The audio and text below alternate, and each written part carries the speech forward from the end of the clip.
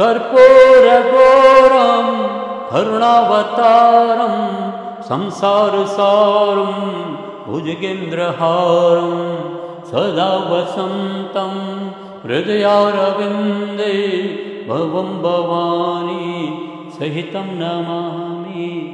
भवं भवानी, सहितं नमामि।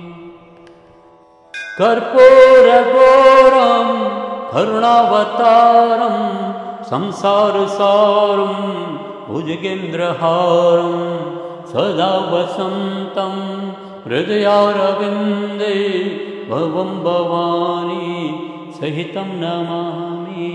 भवं भवानी सहितं नमामि।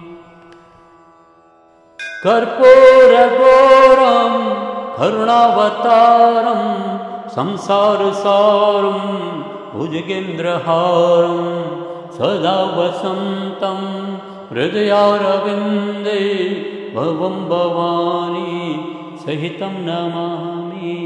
भवं भवानी सहितं नमामि।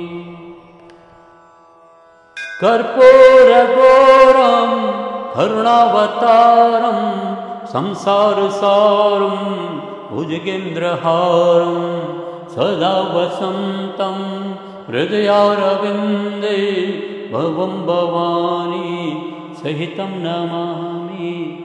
भवं भवानी सहितं नमामि।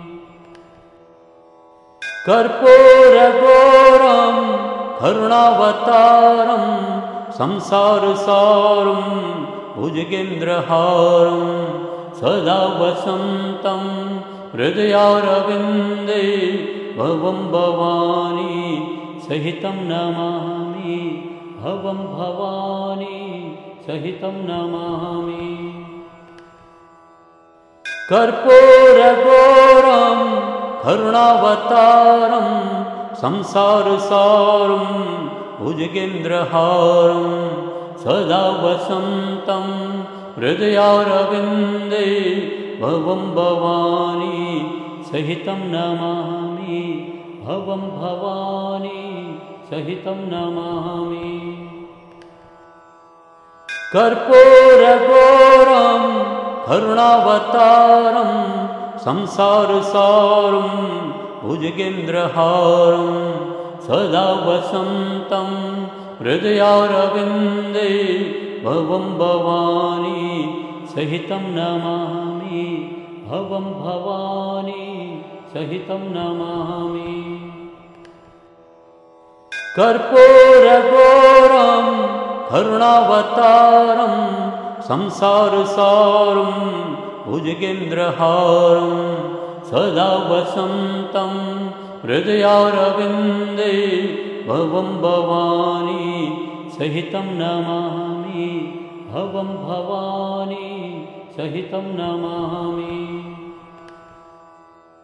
कर्पूरघोरं करुणावतारं संसारसारं भुजगेन्द्रहारं सदा वसन्तं हृदयारविन्दे भवं भवानी सहितं नमामि भवं भवानी सहितं नमामि। कर्पूरघोरं करुणावतारं संसारसारं भुजगेन्द्रहारं सदा वसन्तं हृदयारविन्दे भवं भवानी सहितं नमामि भवं भवानी सहितं नमामि। कर्पूरघोरं करुणावतारं संसारसारं भुजगेन्द्रहारं सदा वसन्तं हृदयारविन्दे भवं भवानी सहितं नमामि। भवं भवानी सहितं नमामि